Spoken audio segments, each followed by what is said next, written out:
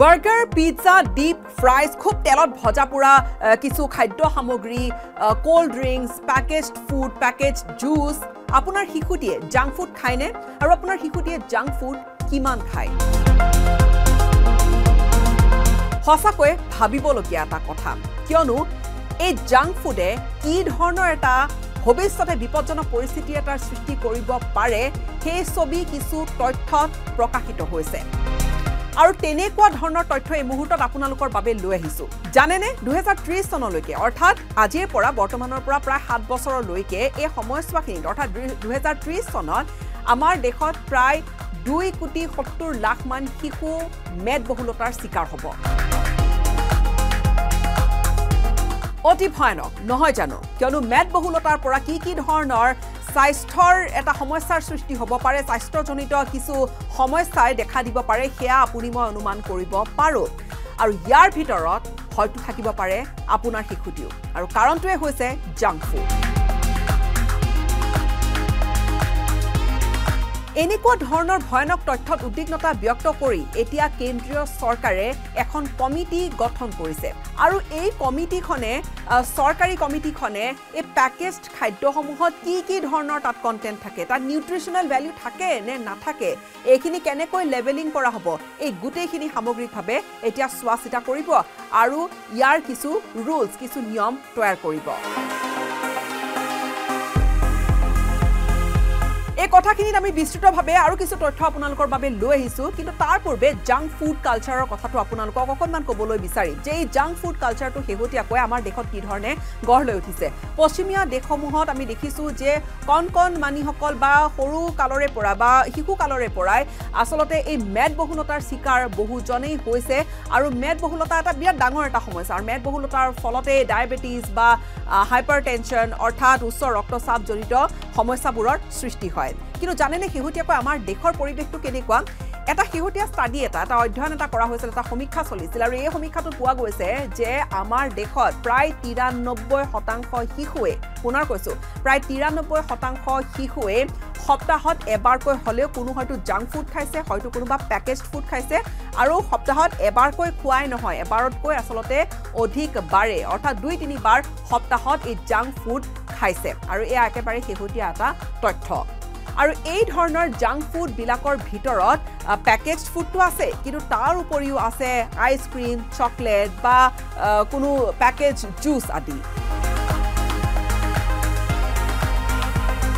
বহু সময়ছোৱাত এই কুইক মিল এটাৰ খুব সোনকালে তৈয়াৰ হৈ যোৱা কোনো পেকেজ সামগ্ৰী এটাৰো একো একোখন ঘৰত প্ৰয়োজনীয়তা আহি পৰিছে। মডাৰ্ণ লাইফষ্টাইল সকলোৰে হয়তো ঘৰত সকলোৱে চাকৰিলৈ ওলাই যায় সময় হাতত সকলোৰে কম বিভিন্ন ধৰণৰ কাম কাজ বিশেষকৈ এতিয়া নিউক্লিয়াৰ ফেমিলি আৰু তেনেকুৱা পৰিপ্ৰেক্ষিতত এই জাংক ফুড কালচাৰটোৱে গঢ় লৈ উঠিছে। জাংক ফুড কালচাৰ অৰ্থাৎ এই শিশুসকলে বহু সময়ত খুব সোনকালে কিবা তৈয়াৰ হোৱা এবিধ খাদ্য পিতৃ মাতৃয়ে বা কোনোবা কেয়াৰ টেকাৰে তৈয়াৰ কৰি শিশুসকলক খাবলৈ দিছে। আৰু এয়া সপ্তাহত শিশুসকলে এবাৰ দুবাৰ নহয় হয়তো কেইবাবাৰো ইতিমধ্যে খাইছে। আৰু তিৰান্নব্বৈ শতাংশ এটি অধ্যয়নত পোহৰ লৈ আহিছে। এয়া এই এই ছবিখনৰে এই শতাংশ বা এই ফিগাৰটো এটা প্ৰতিফলন। আৰু এই ধৰণৰ জাংক ফুডৰ ফলতে সৃষ্টি হ'ব পাৰে স্বাস্থ্যজনিত জটিল পৰিস্থিতিৰ ভৱিষ্যতলৈকে। শিশু এটিয়ে যদি খুব সঘনাই জাংক ফুড খাবলৈ আৰম্ভ কৰে তেনেহ'লে ভৱিষ্যতলৈকে এই শিশুটি হয়তো মেদবহুলতাৰ চিকাৰ হ'ব পাৰে নহ'লে হয়তো এটা সময়ত গৈ ডায়েবেটিছ বা মধুমেহৰ চিকাৰ হ'ব পাৰে নহ'লে উচ্চ ৰক্তচাপ জাতীয় সমস্যাত হয়তো ভুগিব পাৰে। বিশ্ব স্বাস্থ্য সংস্থা ডাব্লিউ এইচৰ তথ্য মতে আমাৰ দেশত ভাৰতত বৰ্তমান প্ৰায় এক কোটিমান মানুহ চিকাৰ হৈছে বা আক্ৰান্ত হৈ আছে ডায়েবেটিছত আৰু উচ্চ ৰক্তচাপত। নেশ্যনেল ফেমিলি হেল্থ ছাৰ্ভেৰ এটা তথ্য মতে বৰ্তমান আমাৰ দেশত প্ৰায় এক কোটি চল্লিছ লাখমান শিশু মেদবহুলতাৰ চিকাৰ হৈছে। ইতিমধ্যে আৰু এইখিনি তথ্যই যদি আপোনাক উদ্বিগ্ন কৰি তুলিছে তেনেহ'লে আন এটা তথ্য আপোনালোকক দিম যে এয়া আমি যি এই বৰ্তমান প্ৰায় এক কোটিৰো অধিক শিশু যি আমাৰ দেশত মেদবহুল হৈ আছে এয়া গ্ল'বেলি অৰ্থাৎ গোটেই পৃথিৱীৰ বা গোটেই বিশ্বৰ আমি যদি এটা তুলনা কৰোঁ আমাৰ দেশৰ এই সংখ্যাটো ছেকেণ্ড হায়েষ্ট এটা ৰেট আৰু ইউনিচেফৰ এটা শেহতীয়া কথাত এইখিনি তথ্য পোহৰলৈ আহিছে যে দুহেজাৰ ত্ৰিছ চনলৈকে হয়তো আমাৰ দেশত প্ৰায় দুই কোটি সত্তৰ লাখমান শিশু মেদবহুলতাৰ চিকাৰ হ'বগৈ। ইয়াৰে সৈতে জড়িত আন কেইটামান তথ্য এই মুহূৰ্তত আপোনালোকক দিবলৈ বিচাৰিম। আৰু এয়া শেহতীয়া এই ধৰণৰ জাংক ফুড কালচাৰৰ সৈতে জড়িত এটা তথ্য হৈছে যে শেহতীয়াকৈ পোৱা গৈছে এটা সমীক্ষা চলোৱা হৈছিল তাত পোৱা গৈছে যে একো একেটা পৰিয়ালে বাহিৰত খোৱাৰ নামত বা ক'ৰবাত ৰেষ্টুৰেণ্ট এখনত গৈ খোৱাৰ নামত মাহিলী প্ৰায় আঢ়াই হাজাৰমান টকা খৰচ কৰিবলৈ আৰম্ভ কৰিছে একেবাৰে শেহতীয়াকৈ। আৰু বৰ্তমান আমাৰ দেশত এই মাৰ্কেটখন জাংক ফুডৰ বা পেকেজ ফুডৰ এই মাৰ্কেটখন প্ৰায় তিনি বিলিয়ন ডলাৰৰ এখন মাৰ্কেট এখন বজাৰ। অৰ্থাৎ একেবাৰে সামৰি সকলোখিনি কথা ক'বলৈ গ'লে আমাৰ দেশত অস্বাস্থ্যকৰ খাদ্য খোৱাৰ প্ৰৱণতা লাহে লাহে বাঢ়িছে। অস্বাস্থ্যকৰ খাদ্য মানে এনেকুৱা খাদ্য য'ত নিউট্ৰিশ্যনেল ভেলিউ পেট ভৰে ঠিকেই ভোকো পলায় ঠিকেই কিন্তু নিউট্ৰিশ্যনেল ভেলিউ তাত একো ধৰণৰ নাথাকে বিশেষ। আৰু যিখিনি কথাৰ পৰাই কেন্দ্ৰীয় চৰকাৰে এই গোটেই প্ৰসংগটোত হস্তক্ষেপ কৰিছে। এতিয়া আহিছোঁ এফ এছ এছ আইৰ কিছু কথালৈকে দুহেজাৰ ঊনৈছ চনত এফ এছ এছ আইয়ে কিছু খচৰা পৰামৰ্শ প্ৰস্তুত কৰিছিলে আৰু এয়া কেইখনমান ৰাজ্যই অনুসৰণ কৰিম বুলিও কৈছিল য'ত কোৱা হৈছিলে যে বিদ্যালয়সমূহৰ পঞ্চাছ মিটাৰ ব্যাসাৰ্ধত যাতে কোনো ধৰণৰ জাংক ফুডৰ বিক্ৰী নহয় আৰু যাতে কোনো ধৰণৰ জাংক ফুডৰ তেনেকুৱা বিজ্ঞাপনো নাথাকে। এয়া এটা পৰামৰ্শ এফ এছ এছ আইয়ে আগবঢ়াইছিলে। এয়া দুহেজাৰ ঊনৈছ চনৰ কথা। ইয়াৰ পূৰ্বে এই এই বৰ্ধিত জাংক ফুড কালচাৰটোৰ প্ৰতি আকৰ্ষণ যি বাঢ়িছে ইয়াৰ পৰিপ্ৰেক্ষিতত ইট ৰাইট মুভমেণ্ট এটা বা ইট ৰাইট এটা অভিযান আৰম্ভ কৰিছিলে আমাৰ কেন্দ্ৰীয় চৰকাৰে। মানুহৰ মাজত স্বাস্থ্য সম্পৰ্কীয় সজাগতা বৃদ্ধিৰ বাবে ফিট ইণ্ডিয়া মুভমেণ্টৰ দৰে কিছু অভিযানো হাতত লৈছে। আৰু ইয়াৰ মাজতো ক'ৰবাত আমাৰ আমাৰ মাজত সজাগতাৰ অভাৱতে এই জাংক ফুড কালচাৰ গঢ় লৈ উঠিছে বা আমি বৰ্ধিত হাৰত এই জাংক ফুড খাবলৈ আৰম্ভ কৰিছোঁ।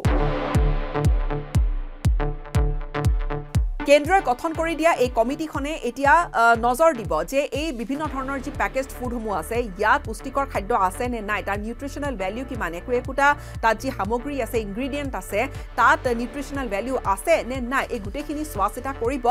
আৰু লগতে এই কমিটিখনে এয়াও সুনিশ্চিত কৰিব যে যি ধৰণৰ গাইডলাইনছবোৰ আছে এই গাইডলাইনছবোৰ ভালদৰে পালন কৰা হৈছে নে নাই। আৰু যদি কোনোবাই পালন নকৰে তেনেহ'লে এই কমিটিখনে ইয়াৰ ওপৰত গুৰুত্ব দিব যে তেনে কোম্পানীৰ বিৰুদ্ধে বা তেনে তৈয়াৰ কৰা তেনে পেকেজ ফুড তৈয়াৰ কৰা লোকসকলৰ বিৰুদ্ধে বিহিত ব্যৱস্থা যাতে কঠোৰভাৱে লোৱা হয়। অৰ্থাৎ এই কমিটিখনে বাধ্যতামূলকভাৱে লেবেলিঙৰ ব্যৱস্থা কৰিব। খাদ্যৰ নিউট্ৰিশ্যনেল ভেলিউ কিমান আছে সেই পেকেজড খাদ্যটোত সেইখিনি লেবেল তাত সম্পূৰ্ণৰূপে কৰা হ'ব লাগিব এইখিনি সুনিশ্চিত কৰিব এই কমিটিখনে। কিন্তু ইয়াতো কিছু প্ৰত্যাহ্বান আহিব। নোহোৱা নহয় কিয়নো পৰ্যাপ্ত পৰিমাণে সজাগতাৰ সৃষ্টি কৰিব লাগিব আৰু যিমান ধৰণৰ প্ৰডাক্টছ আছে এই গোটেইখিনি চোৱা চিতা কৰিবলৈকেও এটা নিৰ্দিষ্ট এটা ব্যৱস্থা আমাৰ দেশত গঢ় লৈ উঠিব লাগিব যি এটা অন্যতম প্ৰত্যাহ্বানমূলক এই গোটেই যুঁজখনত এটা অন্যতম প্ৰত্যাহ্বানমূলক এটা দিশ হ'ব। আৰু এই গোটেইখিনি সকলোবোৰৰ উপৰিও যথেষ্ট এগ্ৰেছিভ এডভাৰটাইজমেণ্টৰ যিখিনি কথা আছে বিজ্ঞাপনৰ যি চমক এইখিনি কথাটো আছে যিয়ে আমাৰ খাদ্যভ্যাসক লাহে লাহে ক'ৰবাত নহয় ক'ৰবাত প্ৰভাৱিত কৰি আহিছে। মুঠৰ ওপৰত ইউনিচেফৰ যি তথ্য যে আমাৰ দেশত জাংক ফুডৰ পৰিপ্ৰেক্ষিতত মেদবহুলতাই কি ধৰণৰ এটা শিশুসকলৰ মাজত এটা ডাঙৰ এটা বিপদজনক সমস্যা হৈ থিয় দিব এয়া কিন্তু সঁচাকৈয়ে উদ্বিগ্নতাৰ।